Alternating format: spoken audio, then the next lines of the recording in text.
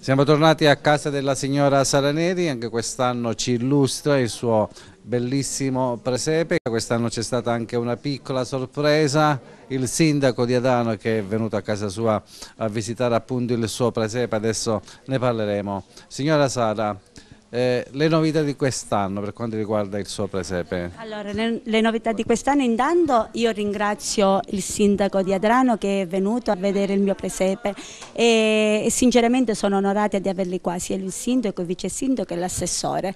E poi praticamente le novità, come potete vedere il presepe è sempre cambiato ogni anno, e le novità sono sempre che è fatto tutto in corteccia, sia tutto, tutti i monti, tutta la la caverna, la grotta, tutte, tutte cose. c'è anche il gregge, tutto fatto in corteccia. E niente, praticamente avevo il piacere come ogni anno di fare vedere a tutti quanti i miei compaesani e ringrazio tutti voi di mi dare questa opportunità di fare vedere almeno le cose belle di Adrano e il pensiero che abbiamo noi di farlo ogni anno per compiacere tutti quanti, soprattutto la famiglia. Signora, quando hai iniziato a preparare questo presepe?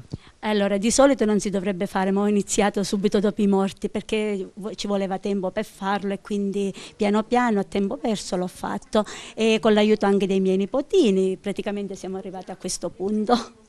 Eh, signora, più volte ci ha detto che per lei il Natale è la festa più importante dell'anno, insomma un periodo speciale per la sua famiglia la sua casa diventa punto di riferimento eh, dei suoi figli, dei suoi nipoti, perché è importante per lei il Natale? Vogliamo dire brevemente? Sì, allora per me intanto è importante perché da piccolo ho visto tanti bimbi in collegio che non avevano a nessuno, ho pensato che da grandi i miei figli dovevano avere sempre una mamma e un papà presenti.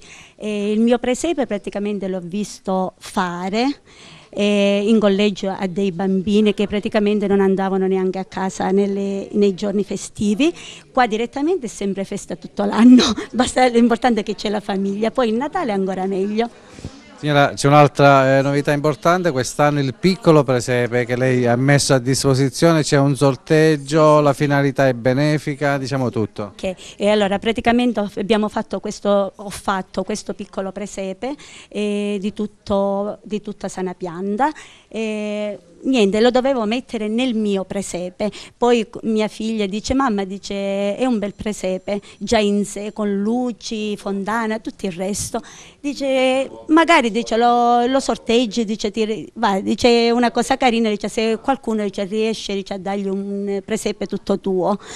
Sinceramente mi è sembrata una, una bella idea e una grande soddisfazione perché in 15 giorni ho venduto tutti i biglietti e quello che ancora non sanno gli altri è che metà va in beneficenza e sarà dato a una casa famiglia che si occupa una persona speciale e sinceramente sono contenta di averla conosciuta e quando prima ora le faccio vedere.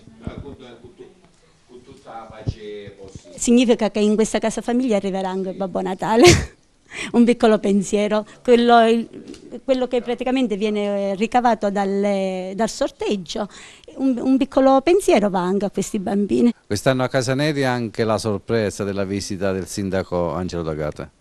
Sì, no, io ho accolto con eh, molto piacere l'invito della signora Neri, in fondo il Natale è questo, no? è questo essere vicini, essere comunità è un momento particolare, poi veramente un'opera d'arte, un bellissimo presepe, una prova voglio dire di grande artigianato, voglio dire di grande maestria, è molto bello da vedersi e anche bello a respirare questo clima con eh, una de delle tante famiglie di Adrano è, è, veramente bello, conto in tutto il periodo natalizio di fare anche, fare anche altre visite, insomma sentirmi vicino ai miei concittadini.